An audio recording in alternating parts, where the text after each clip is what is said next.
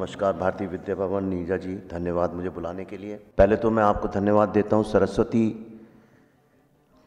के लिए, क्योंकि आजकल लक्ष्मी और दुर्गा पे ज़्यादा ज़ोर चलता है सब जगह। ताकत, सब, ताकत को माना जाता है। विद्या जो हमारी असली धरोहर है, उसको शायद हम लोग कहीं भूल गए।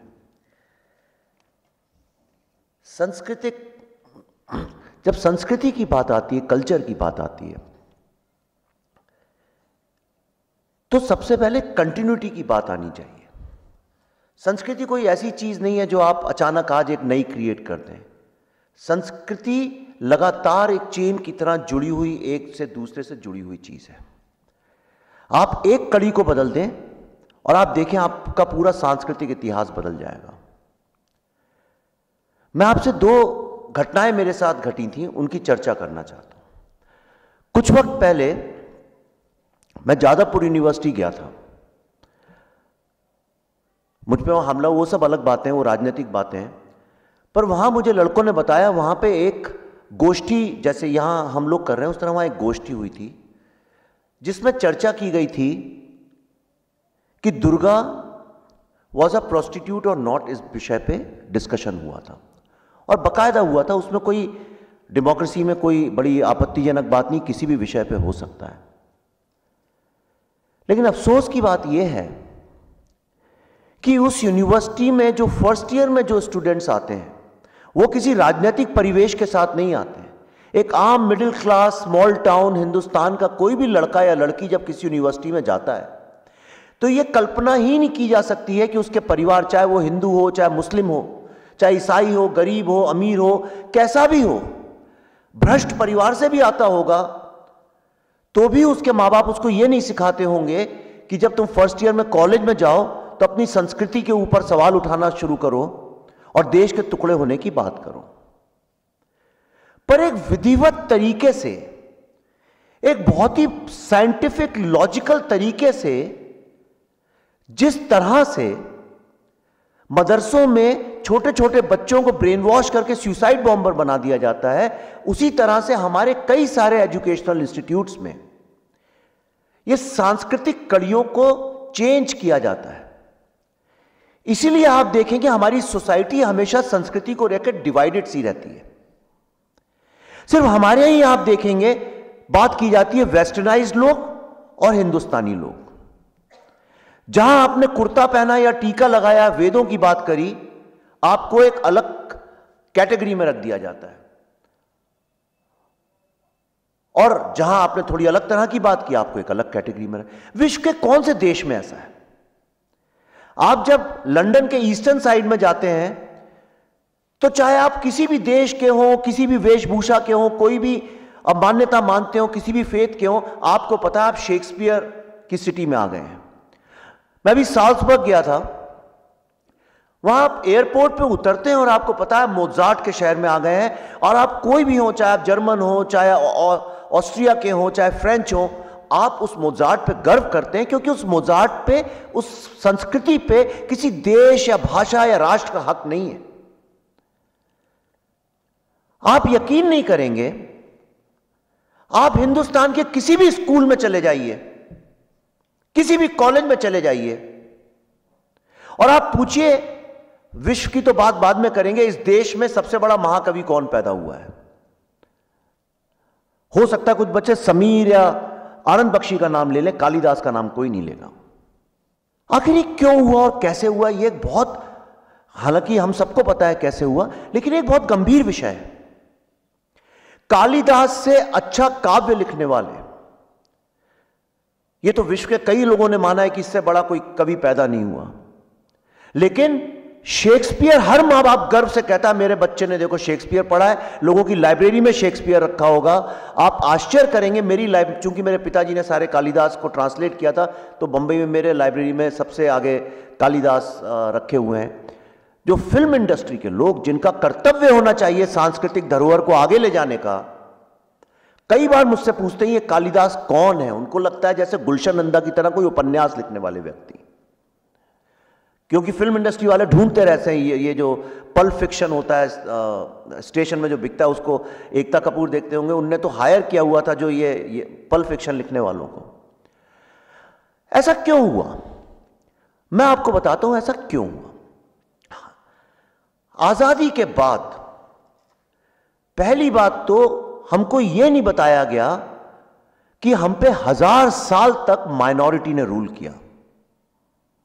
विश्व में कोई और ऐसा समाज, ऐसा कोई देश है ही नहीं जिसके ऊपर हज़ार साल तक माइनॉरिटी ने रूल किया हो।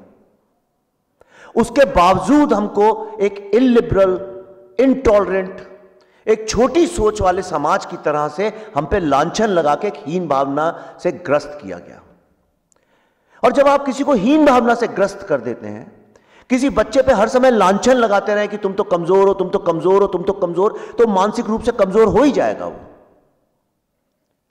और तब आप उसके दिमाग में जो बात डालेंगे, उसमें जो हीरोज उसके दिमाग में क्रिएट करेंगे, उनको वो मानने लगेगा और यही हमारे साथ हुआ। अभी मैंने एक फ़िल्म बनाई है द ताशकंद फाइल्स जो लाल बहादुर शास्त्री की मृत्यु पे आधारित है। उसमें एक डायलॉग है। उसमें एक कैरेक्टर जो मंदिरा बेदी प्ले कर रही है, वो कहती हैं कि हमने शास्त्री जी को एक नहीं, दो बार मारा है। एक बार ताशकंद में और उसके बाद धीरे धीरे उनको लोगों के दिमाग से ही खत्म कर दिया। और उसमें एक डायलॉग है, वो कहती है, और ये हमने फ़िल्म खत्म होने के सेकंड लास्ट डे पे शूट किया था। इस फ़िल्म में पाँच नेशनल अवार्ड विनर्स हैं, नसीरुद्दीन शाह हैं, पंकज त्रिपाठी हैं मिठुन चक्रवर्ती हैं, पल्लवी जी, और बारह बहुत अच्छे एक्टर्स हैं जो पढ़े लिखे और जो विद्वान माने जाते हैं। जो हमारी हीरोइन है, वो भी नेशनल अवार्ड विनर है। और उसके बाद दूसरा डायलॉग उसमें यह था कि कितने अफसोस की बात है कि मेरे बेटे तक को नहीं पता कि 2 अक्टूबर को गांधी जी के अलावा शास्त्री जी का भी जन्मदिन है। जब उसने वो डायलॉग बोला तो उस यूनिट में दो ढाई सौ लोग थे। आप यकीन नहीं करेंगे, सारे एक्टर्स और उस यूनिट के लगभग हर व्यक्ति को सिवाय मैं, पल्लवी और दो चार लोगों को छोड़ के, जो मेरे असिस्टेंट थे, प्रफुल्ल, सब लोगों ने कहा, अरे, क्या वाकई में दो अक्टूबर को लाल बहादुर शास्त्री का जन्मदिन है? ये कैसे संभव है? इसका हमने एक विधिवत तरीके से इसको धीरे धीरे लोगों को ब्रेन वॉश करके एक स्लो पॉइजन की तरह से एक ऐसी संस्कृति सामने रखी है जिसको हमने बेहतर या श्रेष्ठ संस्कृति के सामने से सामने रखा, जिसके कारण हर माँ बाप चाहते हैं कि मेरा बच्चा जो है कॉन्वेंट में जाके शेक्सपियर सीखे और अपनी जो संस्कृति है उसको लेके एक हीन भावना सी हमारे दिमाग में क्रिएट हो गई है। आईआईटी बंबई के एक प्रोफेसर हैं, आप बहुत सारे लोगों ने जानते होंगे। मेरी किताब में भी उसका मैंने उल्लेख किया है। जब आईआईटी जी में जो लड़का टॉप करता है, लड़का या लड़की, जो भी टॉप करता है, उसको असाइन किया जाता है उन प्रोफेसर के साथ। आप जानते होंगे उनको बहुत अच्छे से, मैं नाम नहीं लेता हूँ। तो उनने मुझे यह बताया कि मैं सारे करियर में वैदिक साइंस के ऊपर वर्ल्ड साइंस कांग्रेस में जाया करता था और भाषण देता था। पर अभी पिछले चार पाँच साल में कुछ ऐसी स्थिति उत्पन्न हुई है कि अब मैं जाता हूँ तो मीडिया वाले और मेरे साथी लोग और स्टूडेंट्स कहने लगते हैं, अरे, ये तो संघी है, ये तो रिग्रेसिव टाइप के आदमी है, ये वैदिक साइंस क्या होता है? ऐसा तो कुछ होता ही नहीं है। अभी कुछ दिन पहले मुझे हैदराबाद सेंट्रल यूनिवर्सिटी में, जहाँ पे आपने, जिसका नाम लोग जनरली रोहित वेमुला के नाम से जानते हैं, हालाँकि काफ़ी पुरानी और बड़ी यूनिवर्सिटी है, वहाँ 20-25 रिसर्च स्कॉलर्स ने मुझे बुलाया। मैं हैदराबाद में ही था तो उनने कहा, सर, एक बड़ी कठिन, एक स्थिति है, प्लीज़ हमारे को आके गाइड करिए। मैं ढाई घंटे ड्राइव करके वापस गया उनसे मिलने। तो उनने मुझे ये बताया, एक लड़का है वहाँ, अलीगढ़ यूनिवर्सिटी से उसने ट्रांसफ़र लेके हैदराबाद सेंट्रल यूनिवर्सिटी गया था। तो उसका ये कहना था, अलीगढ़ यूनिवर्सिटी में एक certain kind of mind set है तो मैं चेंज चाहता था। उसने पॉलिटिकल साइंस चूँकि आप प्रोफेसर हैं, आपके ही विषय का सब्जेक्ट है। तो उसने अपने प्रोफेसर से ये बोला कि मुझे कॉन्टेम्प्रेरी पॉलिटिकल हिस्ट्री जो है इंडिया की उसके कुछ ऑथर्स और किताबों के नाम बताइए। तो उन्होंने सजेस्ट किया Arundhati Roy.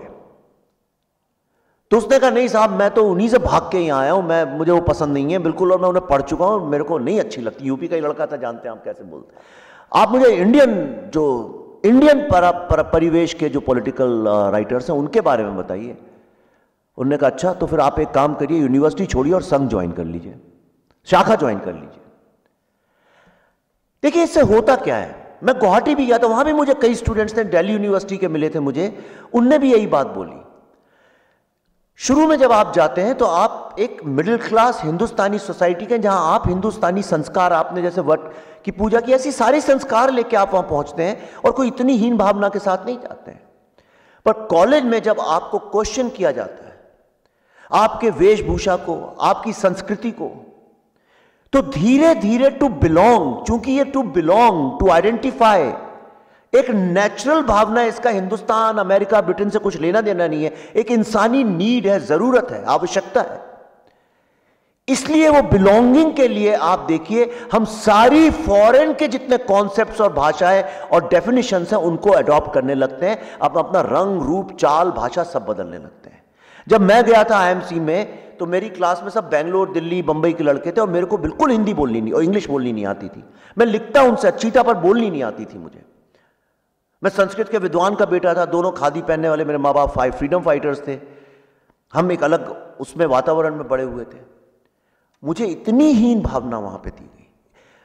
They make you feel small आप तो बिलोंग करने के लिए आप क्या करते हैं? आप सिगरेट पीने लगते हैं, आप उनके साथ बैठ के शराब पीने लगते हैं, आप एक फ्री लिविंग की फ्री लाइफ की बात करने लगते हैं और धीरे धीरे आपको पता नहीं चलता है कब आप इंट्रोड्यूस होते जाते हैं और अपनी ही धरोहर पे जो आपकी आइडेंटिटी है, उससे विश्वास खो देते हैं और आप एक बाहर की मानसिकता अंदर देश के लाते हैं और धीरे धीरे वही मॉडर्न कल्चरल इतिहास बनता जाता है। मैं अभी लास्ट में एक बात बताता हूँ, मैं आने के पहले अभी साबरमती आश्रम होके आया वहाँ पे एक बड़ा सा पोस्टर लगा है जिसमें गांधी जी के विचार लिखे हुए कोट अनकोट लिखा है एग्जैक्ट वर्ड्स मुझे याद नहीं है, पर उसमें लिखा है, गांधी जी ने कहा है, मैं ये बहुमत की राजनीति को नहीं मानता हूँ। मैं ये बिल्कुल नहीं मानता हूँ कि इक्यावन लोग अगर किसी बात से सहमत हैं तो फोर्टी नाइन परसेंट जो लोग हैं, उनकी बात को ना माना जाए। इसमें एक बहुत बड़ा ज्ञान और एक बहुत बड़ी विजडम छुपी हुई है। और चूँकि हमने गांधी की सारी वैल्यूज़ को 15 अगस्त उन्नीस सौ सैंतालीस के बाद उठा के किनारे रख दिया, जैसे कि घर में कोई बहुत बुढ़ा हो जाता है, उनको पूजा रूम के पास एक रूम दे देते हैं, कहते हैं, भैया, ठीक है, जाओ, खाना खिला दिया कि नहीं? हमने डेमोक्रेसी जिस डेमोक्रेसी को हमने अपनाया है, पहली बात तो वो डेमोक्रेसी हमारी संस्कृति से मैच नहीं करती है। मैं पतंजलि दो पतंजलि हुए एक योगा वाले और एक भाष्य वाले। मैं पतंजलि कालीन भारत पढ़ रहा था अभी चूँकि हम लोग एक तो, काम कर रहे हैं एक भारत की बात करके एक सीरियल बना तो उसमें रिसर्च कर रहे थे।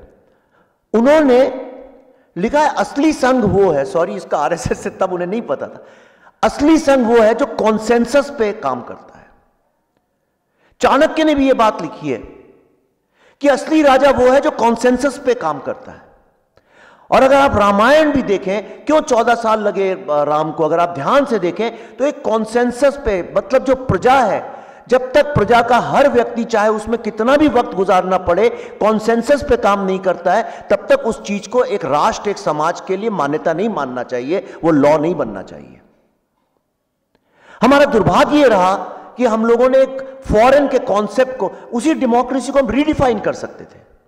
हम अपनी तरह से सूट कर सकते थे उसको। लेकिन हम लोगों ने हमेशा एक 49 परसेंट अनसेटिस्फाइड सिटीजन इस देश में हमेशा रहे। दूसरा कॉन्सेप्ट था सेकुलरिज्म का। हमारी जो परंपरा रही है, वो टोटल एक्सेप्टेंस की रही है, जो कॉन्सेंसस से ही जुड़ी हुई है। पर हमने एक फॉरेन का कॉन्सेप्ट सेकुलरिज्म अपने इंट्रोड्यूस किया, इसलिए जो लोग टोटल एक्सेप्टेंस पे बिलीव करने वाली जो एक भारतीय संस्कृति थी उन लोगों को हमने नेशनल मेन स्ट्रीम नैरेटिव से काट फाट के अलग कर दिया। इसीलिए जो लोग सेकुलरिज्म का झंडा लेके चलते थे उनके हाथ में हमने मेन स्ट्रीम नैरेटिव दे दिया। अंत में मैं आपको सिर्फ़ यह बताना चाहता हूँ कि मैं एक, एक बहुत बड़ा प्रोजेक्ट करने जा रहा हूँ हिस्ट्री ऑफ़ हिंदू सिविलाइजेशन उसके पीछे कारण यह है कि हम लोगों ने गलती हमारी भी है हमने कभी नैरेटिव को अपने हाथ में लिया नहीं। क्योंकि हमारे परंपरा रही है श्रुति की।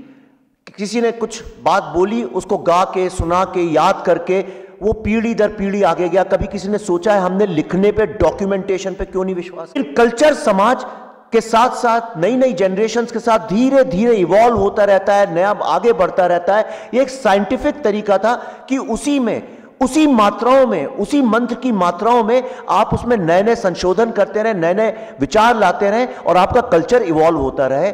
हमने उस प्रथा को खत्म किया है। इसलिए आप देखिए, आज YouTube के ज़माने में आप अगर क्रिश्चियनिटी की बात करें इस्लाम की करें वर्ल्ड वॉर की करें यूरोप की करें अमेरिका की, आप उनकी पूरी हिस्ट्री दस्तावेज़ बड़े बड़े मिल जाएँगे।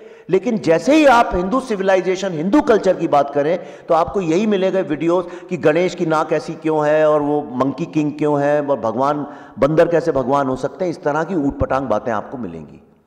इसलिए जिम्मा मैंने अपने ऊपर लिया है कि एक हिस्ट्री ऑफ़ हिंदू सिविलाइजेशन जो हमारी एक सांस्कृतिक परंपरा, सांस्कृतिक इतिहास है, इसका पॉलिटिक्स से कुछ लेना देना नहीं। यह आक्रमणों के बारे में नहीं है। यह हमारे एक कल्चरल एवोल्यूशन और हिस्टोरिकल एविडेंस है, जिसके ऊपर मैं एक बहुत बड़ा काम करने जा रहा हूँ। लेकिन अफसोस की बात यह है कि जब आप ऐसा काम करने जाते हैं तो जिन लोगों के पास पैसा है, जिनके पास सीएसआर का सारा पैसा है, वही लोग सॉरी माफ़ करिएगा, अपनी देश की जो कंपनीज़ हैं, वो लोग इसको सपोर्ट करने के लिए आगे नहीं आते। हैं इसलिए मैं लड़ाई लड़ता हूँ। लड़ाई लड़ना कोई मेरा धर्म नहीं है। लड़ाई कोई मेरे खून में नहीं है। इसलिए मैं लड़ाई लड़ता हूँ कि जब तक हम लड़ाई नहीं लड़ेंगे, जब तक अपनी बात को हम रोज़ाना किसी ना किसी तरह तक नहीं अगर हम उसको इस डिजिटल फॉर्मेट में, इस दुनिया में इम्प्रिंट करेंगे तो जिस तरह से हम ये सांस्कृतिक इतिहास की लड़ाई 1947 में हार गए थे। यकीन करिए 2030 में जब आर्टिफिशियल इंटेलिजेंस हमारी थिंकिंग को डिसाइड करेगा, उस वक्त में हम लड़ाई ना हारे, इसके लिए मैं लड़ाई लड़ रहा हूँ और आप सब लोगों को भी ये लड़ाई लड़नी चाहिए। धन्यवाद।